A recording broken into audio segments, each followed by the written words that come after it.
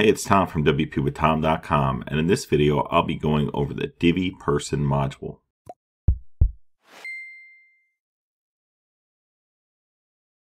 So before we dive into the tutorial here, I just wanted to say that I have a special affiliate link discount below for Divi if you don't already have it, and it should get you at least 10 to 20% off of your purchase.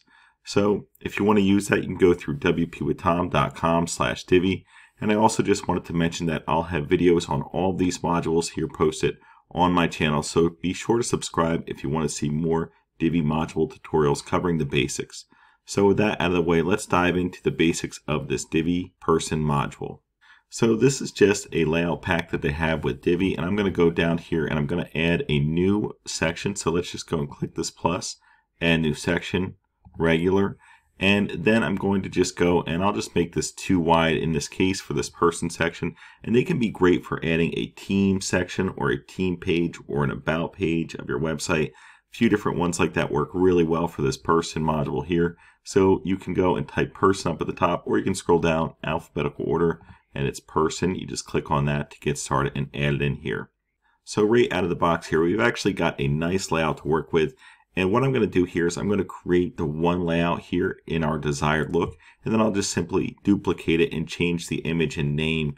And you can also edit other things like the text and the social media, but it will keep the same design that you already set up. So I recommend adding all images that are the same size when you're doing these. And I'm actually going to be using 600 by 900 pixel images in this case. And I just wanted to be upfront about that. So I'm going to actually toggle this close for text. And I'm going to go and add an image first. And I'll add one of these 600 by 900 images. So if you click on it, you can see right here, 600 by 900. You can use different sizes. I'm just using that so it's the same here. And I'll upload an image. And then what I'm going to do is I'll just toggle this closed right here, and I'll go back to where it says text. So you can see right here it says name goes here, and you hover over it, and it highlights that specific area. So right where it says name goes here, you can change this name out. So I'm just going to add Joe Smith right here. And if you want to change position, you can do that. You can also add social media links or profiles. I'm just going to go and put in the hashtag or the pound symbol here for each of these profiles, just so we have them in there as placeholders and you can see what it looks like. Down here, you can change the content right here, and that's what goes right over here. And you can edit that and maybe tell more about this person or more about the role that they have within the company or the website here that you're focusing on.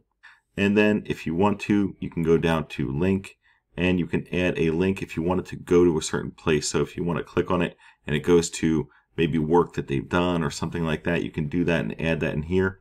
So that about wraps up the content tab right here. We can go and go and look at the design tab right here and get started with some basic edits. So if you see it says icon, icon actually refers to this right here with these social media icons. So if I were to make them red, you can see they turn red right here. You click blue, they become blue.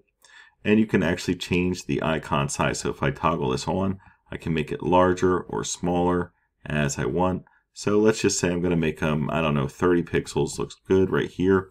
And it stands out pretty clearly. You can see the icons, easily click on them. Now, if you go over here to image, you can go and add things like rounded corners or borders. So let's just say I wanted to have rounded corners. I'm just going to go and add 100 pixels and it will go 100 to each side. It makes a more oval shaped around the edges here. I actually don't think I'm going to use this, but I'm going to go and put this back to zero in this case and they're all locked. So let's just say if you want to unlock it, I'll show you a quick example. If you wanted to have it 100 pixels in the corner, see this corner is rounded, but all the others are square. So maybe you want to do 100 here. And then you have the rectangle here, but you have the rounded corners on this edge. It gives it more of a design element if you want to add that in. I'm going to go and make them all zero in this case and lock them. So they're all connected here at zero. So the way that you can do borders right here is you can actually go and add an image border width. So you can see it's around the edge now. The more you make it larger here, the thicker the border gets. And if you want to, you can add a border and change the color to it. I'm going to actually go right here and revert back and I'm going to make the border zero or non-existent here. So that's what you can do with that. If you want to add an image box shadow, you can do that right here. I like this one right here for this. It's nice and subtle but you can still see it. You can see it around here. If you want to change how much that shows. You can adjust it in these settings as needed.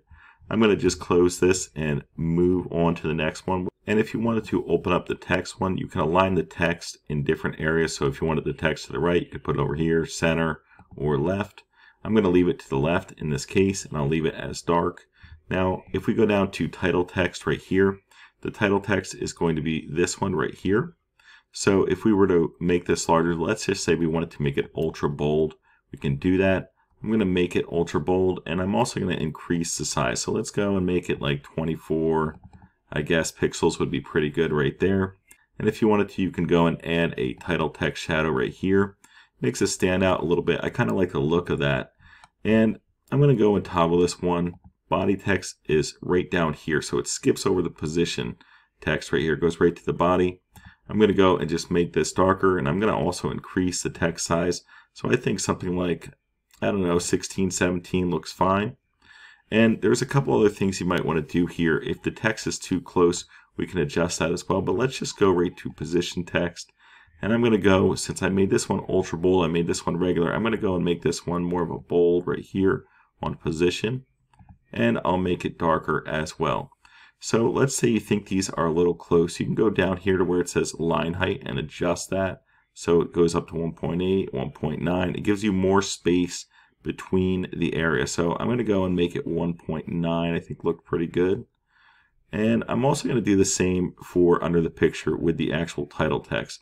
So I'll just adjust that slightly. It's at 1 right now. If you adjust it to 1.1, 1.2, it pushes it down a little bit from the image itself. I like how that looks overall.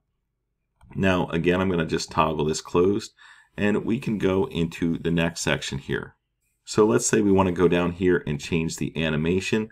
I like to look at the various options we have here and see if you like how any of them looks. If you really want attention, you could do something like bounce, but I think something like zoom or slide, just like this one, looks pretty good. And I'm going to go and just save this right here. So that covers the basics of how to create this. And from here, if you want to speed up the design process and add another team member, what you can do is go right here and hover over it and it will say duplicate module. So if we click on that, it actually duplicates it and puts it down here. Now you can click, hold, and drag it right here and go up into this area and just drop it in. And now we have our second one right here, side by side and you can easily go in here and edit this one. So I'll go in, edit, and I'll just put the name as Jane Smith instead of Joe Smith. And you can change out the text here, the social media profiles, whatever you need to change. But the key here is you're keeping the design that you set up and you're not having to redo it all over again. Now we can go and add another picture. So let's go and add an image and I'll change that out and I'll add this woman in here as Jane Smith. And now we have two different ones. And if we just go right here, we save it and that wraps up the basics of using the person module here.